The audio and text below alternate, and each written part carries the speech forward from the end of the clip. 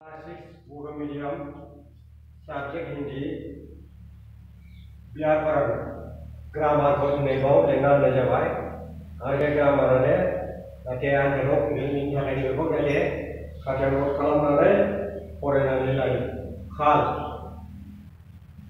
क्रिया के जिस रूप से कार्य होने का समय जाना जाता है, उसे काल कहते हैं। यानी क्रिया के समय को काल कहते हैं। काल के तीन भेद है। भूतकाल, वर्तमान, भविष्य। जैसे मैंने खाया, मैं खाता हूँ, मैं खाऊँगा। भूतकाल। क्रिया के जिस रूप से कार्यों की समा समाप्ति का बोध हो, उस काल को भूतकाल कहते हैं। जैसे सोहन जी आए थे, मैंने चिट्ठी लिखी थी, मैंने गीत गाया था। वर्तमान काल वर्तमान काल।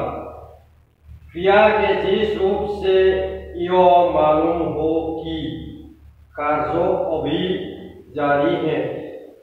उस काल को वर्तमान काल कहते हैं। जैसे वो खाता है, मैं पढ़ता हूँ, लड़की पढ़ रही है भविष्य काल।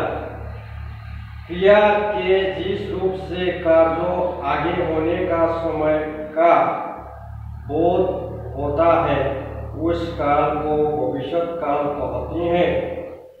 जैसे वह वहाँ आएँगे, मैं आम खाऊँगा वह सरपन्न पछताएँगे।